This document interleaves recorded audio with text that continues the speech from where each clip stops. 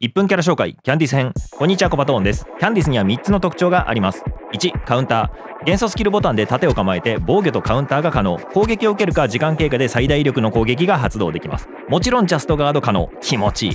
2高い探索性能。通常2段目の盾攻撃と元素スキルには鉱石の破壊効果があります。スキル長押しなら水晶や魔晶も一撃で粉砕。超便利っすね。さらに添付で崖登りスタミナ軽減を持っているので探索で非常に優れたキャラクターです。